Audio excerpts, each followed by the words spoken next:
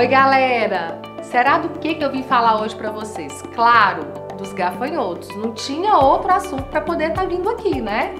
Primeiro, não assustem porque sempre existiu esse tipo de nuvem de gafanhotos no mundo. Só que essas nuvens, elas predominavam onde?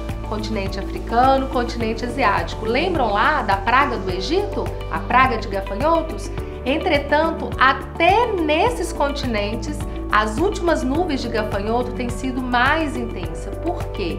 A alteração climática, o aumento de ciclones, o aumento de chuvas, alterações da temperatura têm interferido diretamente no ciclo de vida também dos animais, também dos micro-organismos. E aí, qual é a consequência disso, gente? Migração desses animais para outras partes do planeta, onde eles vão encontrar condições para se reproduzir, para se alimentar, ausência de predador. Vocês sabem, no ambiente exótico, o predador não vem acompanhando. Esses gafanhotos, eles apresentam uma densidade populacional muito alta quando eles precisam de se alimentar. Eles não são animais sociais, como abelhas, como cupins, formigas. Eles são animais é, solitários. Porém, ao se alimentar, na escassez de alimento, eles se agregam, conhecido como fase gregária. É aí que surgem as nuvens de gafanhoto.